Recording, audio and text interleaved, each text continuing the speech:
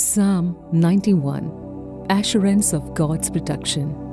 You who live in the shelter of the Most High, who abide in the shadow of the Almighty, will say to the Lord, My refuge and my fortress, my God in whom I trust, for he will deliver you from the snare of the fowler and from the deadly pestilence. He will cover you with his pinions, and under his wings you will find refuge. His faithfulness is a shield and buckler. You will not fear the terror of the night, or the arrow that flies by day, or the pestilence that stalks in darkness, or the destruction that wastes at noonday.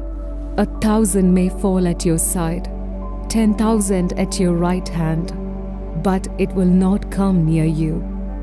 You will only look with your eyes and see the punishment of the wicked.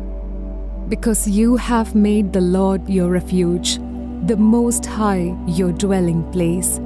No evil shall befall you, no scourge come near your tent. For he will command his angels concerning you to guard you in all your ways. On their hands they will bear you up, so that you will not dash your foot against a stone. You will tread on the lion and the adder. The young lion and the serpent you will trample underfoot. Those who love me, I will deliver.